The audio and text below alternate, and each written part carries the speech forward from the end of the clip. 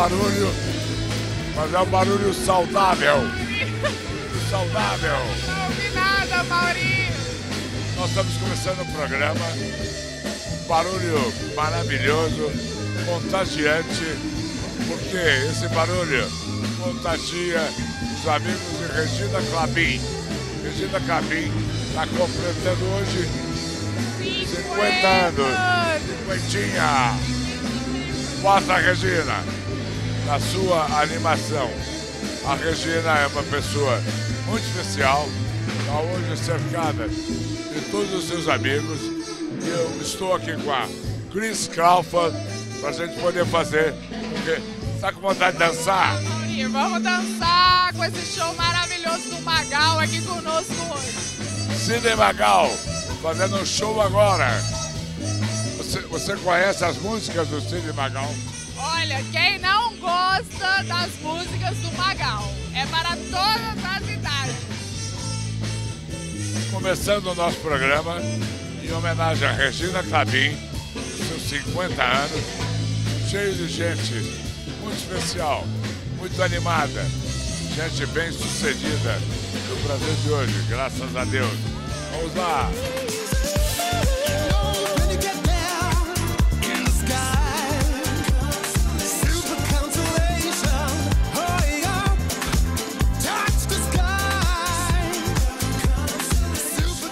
Regina Clabin, Querido. parabéns. Obrigada. Muitas felicidades. Sua festa deliciosa. Obrigada, um prazer enorme você estar aqui comigo. Só vou sair daqui quando o sol raiar. Ai, não é, Cris? assim. Não é? Isso aí, maravilhosa a Ai, que festa. bom, que bom, Gostei. vocês estão gostando.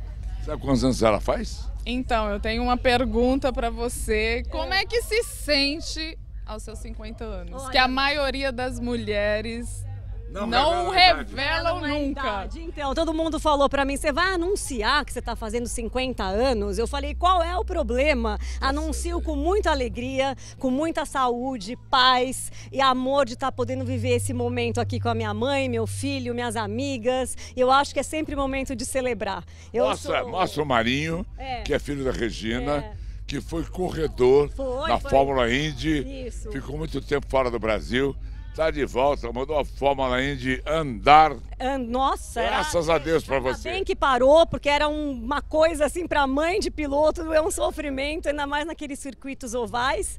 E agora ele tá aqui de volta. Graças e a, minha a Deus. Mãe, que, pô, não tenho o que falar da minha mãe, né? Você conhece melhor do que ninguém, a Lilia, que é uma super, super mãe e, a gente só pode celebrar dela estar aqui junto nesse dia. É sua mãe e nossa grande amiga É. e uma grande benfeitora da música popular, Popular brasileira. brasileira. E ela tá vindo aí com um novo passatempo. Quando você fizer 50 anos, você vai, ser essa, você vai ter essa Tá descon... você. Ah, Escuta, obrigada. Com essa. Cris, olha pra mim. Quando você fizer 50 anos, você terá a descontração que a Regina tem de contar, de escrever no seu belíssimo convite e RK50. você vai esconder sua idade. Não, eu, eu gostaria realmente de me sentir igual você se sente aos meus 50 anos, orgulhosa, É. com experiência de vida. Exatamente. A gente aprende tanta coisa, é uma maturidade que a gente tem mu- muito diferente, que não tem como você não querer comemorar. Eu sou super a favor de comemorar todos os aniversários. Eu comemoro sempre. Vou te fazer uma pergunta que eu sei que é difícil no calor da festa você raciocinar objetivamente. Sim. Mas qual é o- a reflexão, a grande reflexão que você faz ao chegar aos 50? As pessoas quando chegam aos 40 ficam já griladas. Sim. Chega aos 50, chega aos 60. E eu sei que a idade não é uma coisa é, objetiva, é uma coisa só cronológica. Lógica. Depende da cabeça de. Mas você não parece assim. Parece 50? Tudo psicológico, Mauri. A idade é psicológica. Você tem 74. Nossa, Três, vou- três. Tá bem, né? Tá bem.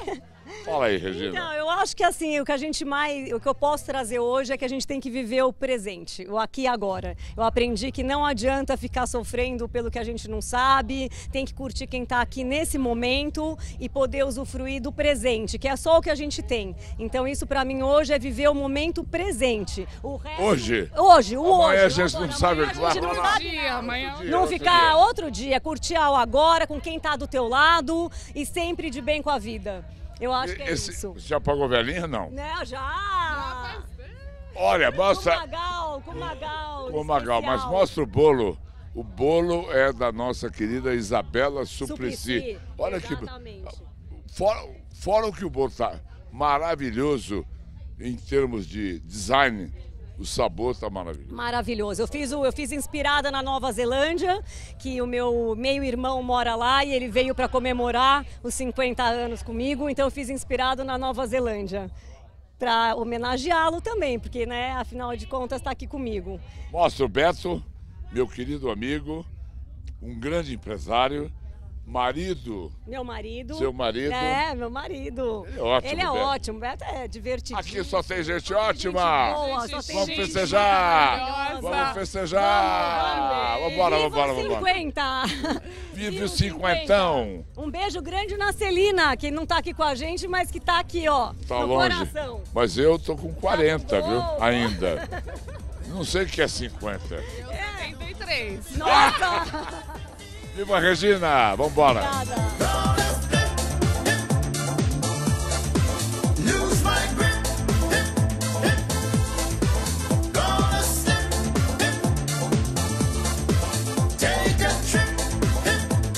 A minha repórter Chris Crawford fez questão de vir aqui, porque ela é vidrada em você. Pode falar, Cris.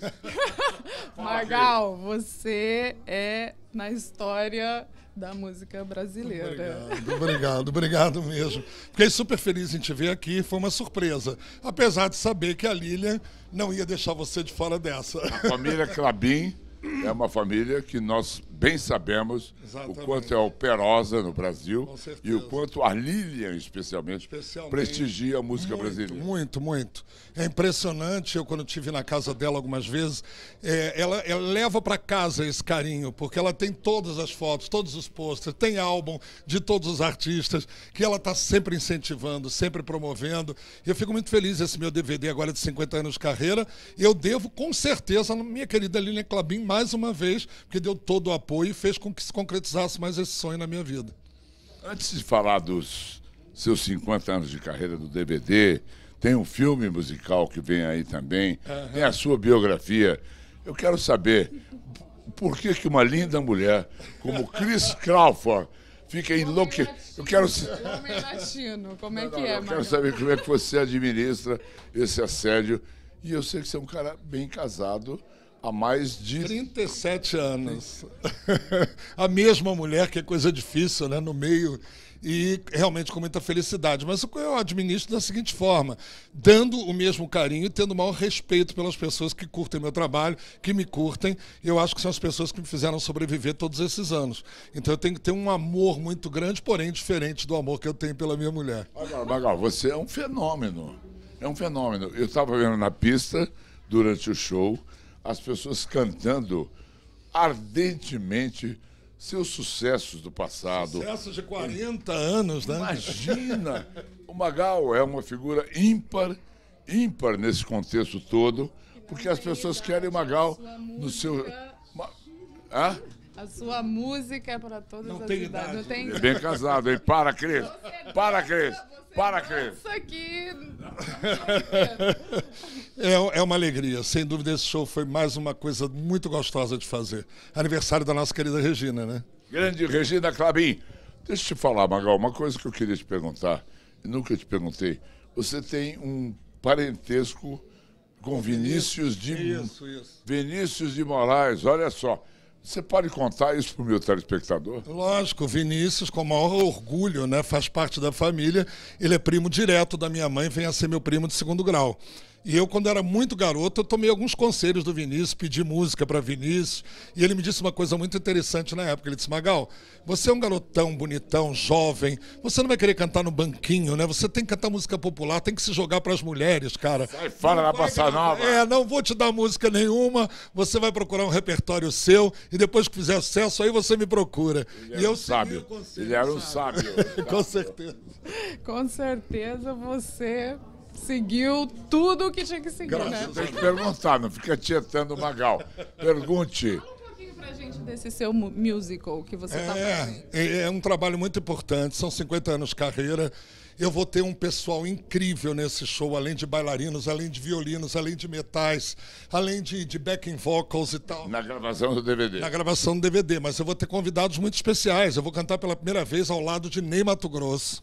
Eu vou cantar pela primeira vez ao lado de Ana Carolina. Eu vou cantar pela primeira vez ao lado de Alexandre Pires. Pela primeira vez ao lado de Rogério Flauzino, do J Quest. E ainda do Rincão Sapiência. Vou ter o Milton Guedes, vou ter os tambores do Olodum nesse show. Então eu tenho certeza que vai ser um show muito alto astral. Que é para mostrar um pouquinho de tudo aquilo que eu sempre soube fazer, né? Eu queria saber, sabe o que, Cris?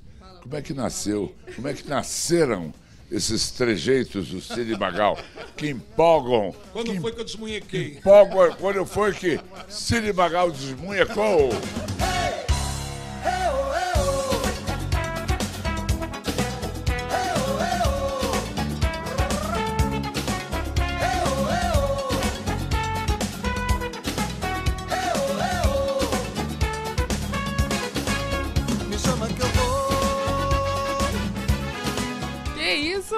Magal? Naquela Como é, época. que, como é que nasceu isso? Olha, eu, eu fui para a Europa, fiquei quase dois anos na Europa cantando um repertório variadíssimo. E como o público não me conhecia, eu tratei de sair artisticamente do armário.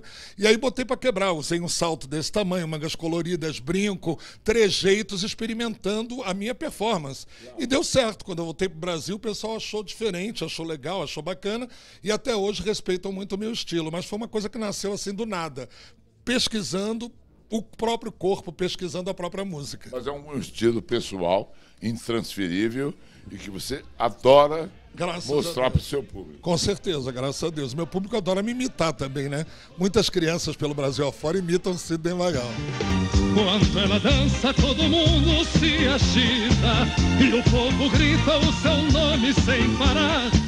É a cigana Sandra Rosa Madalena, é a mulher com quem eu vivo a sonhar. É Sandra Rosa Madalena. Você não quer saber quem é? É uma namorada sua do passado? Sandra Rosa Madalena.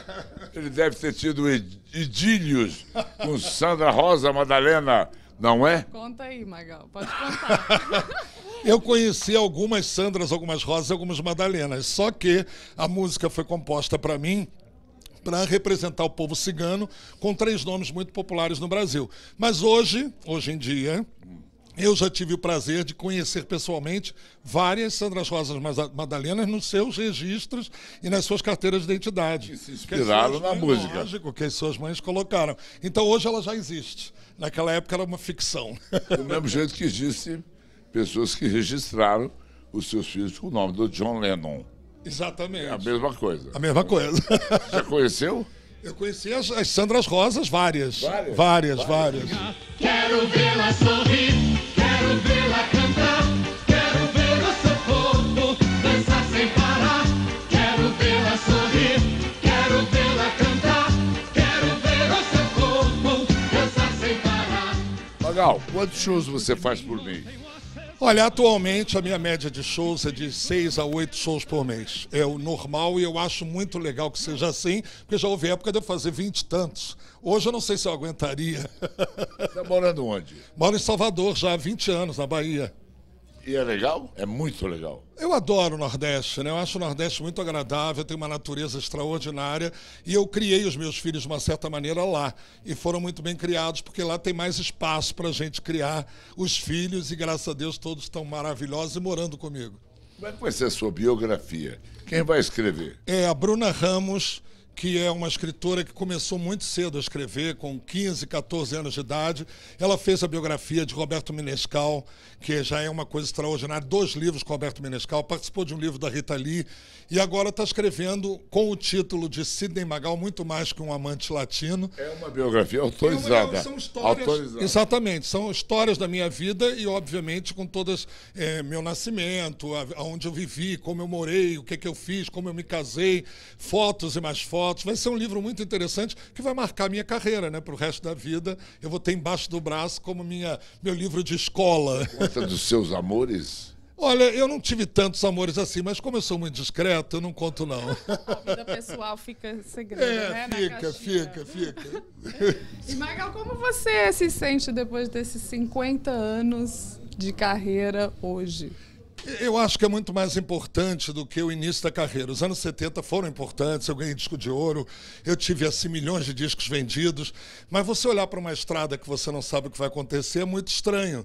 Agora, quando você passa por essa estrada e olha para trás e vê que a tua estrada foi muito bonita, foi muito legal, sem, sem, sem momentos tristes, sem aborrecimentos, sem fracassos, é muito mais prazeroso. Então hoje, com 50 anos de carreira, eu me sinto muito mais realizado e feliz do que no início da carreira. Qual foi o momento de tietagem que você mais se sentiu desconfortável ou se sentiu extremamente confortável? Olha, não foi nada confortável, porque foi no camarim de um show, uma fã muito desvairada, isso já tem muitos e muitos anos, e a minha mulher estava no camarim. E quando ela entrou para me cumprimentar, ela trançou as duas pernas na minha coxa, me abraçou, encravou as unhas nas minhas costas e começou a ter.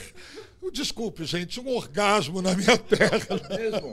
Ela, ela E na gozou, frente da minha mulher, por isso foi gozou constrangedor. na sua perna? É, pois é, né? Não sei se chegou a tanto, mas pelo menos os olhinhos reviraram. Que ótimo. E a sua mulher? Minha mulher ficou olhando, né? O que, é que ela ia fazer? Ela não podia agredir a menina. Ela disse, gente, ajuda, ajuda. E eu dizendo, gente, olha aqui a situação aqui. Como... é que-" Constrangedor, constrangedor. Olha, é muito bacana a carreira do Magal, porque o Magal não sai nunca da moda, não é? Se existe uma coisa que a gente fala na moda, Cine Magal é permanentemente uma pessoa querida, requisitada, e eu tenho o maior prazer em participar de festas como essa da Regina é, Clabin, vendo o show do Magal. E vendo a tua tietagem. Essa mulher ficou muda na sua frente, você viu? Que bom, Eu né? adoro dançar, Magal. E a sua música não tem Você quem... tinha 500 perguntas para fazer, não fez nenhuma. Fez algumas interessantes, fez, mas ela já é mais interessante do que as próprias perguntas aqui entre nós, né? Parabéns, Magal. Beijo.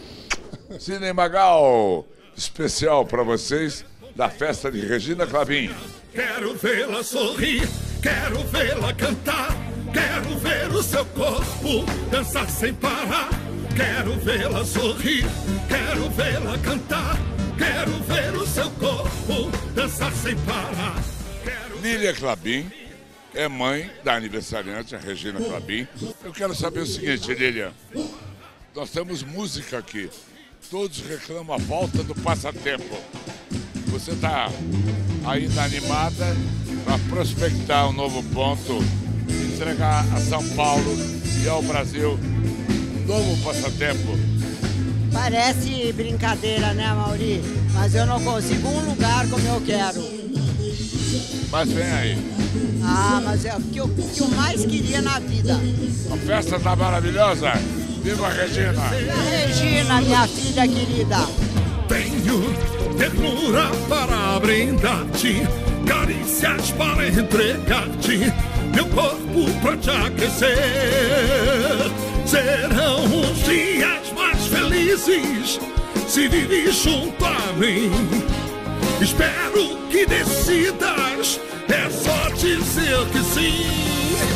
Tenho mil braços para abraçar-te, mil bocas para beijar-te, mil noites para viver. Tereza e Davi Wipe, nosso secretário de saúde, são amigos a longa data da família Clabin, especialmente da Regina, e naturalmente não poderiam faltar a este evento. Tudo bem, doutor Davi? Muito bem, feliz de estar aqui no aniversário. Não vou falar o número de anos da Regina Clabin, mas uma amiga querida, Lília, muito querida. E é muito bom estar comemorando o aniversário com tanta felicidade. Beleza, você gosta dessa ebulição? Regina, felicidades, Regina. Uma linda festa com Sidney Magal.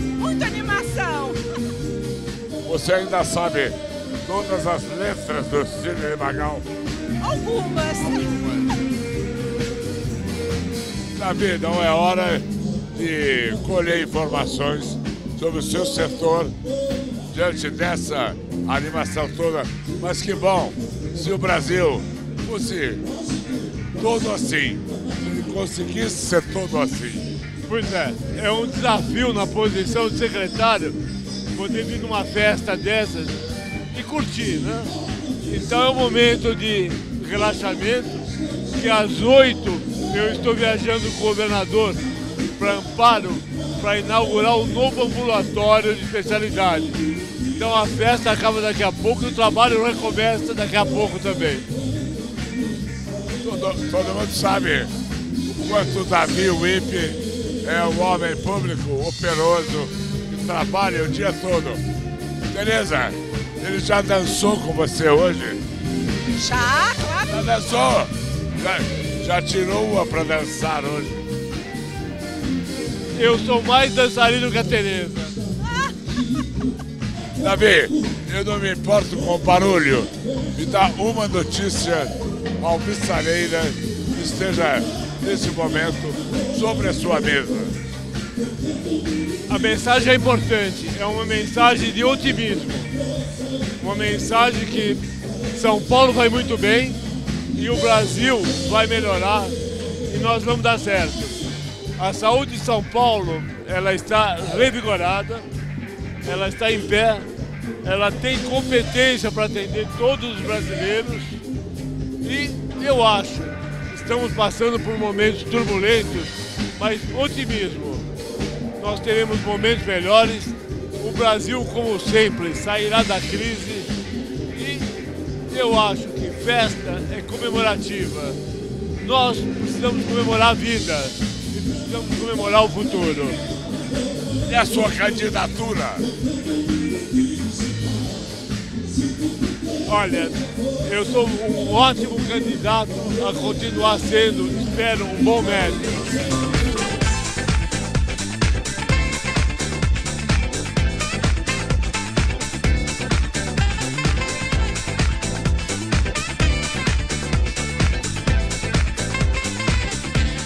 Luiz Altenfelder, famoso psiquiatra, estou dizendo a ele que o meu paletó está um pouco. Isso é base de amigas minhas que vêm me abraçar. Qual o problema? Você é amigo da Regina Clabin, nossa aniversariante. Quero o seu depoimento, Luiz Altenfelder. A Mauri, prazer estar com você aqui, comemorando o aniversário da Regina Clabin, nossa grande amiga, a quem a gente deseja muitas felicidades e que tenha um ano excepcional. E obrigado por estar aqui com você também.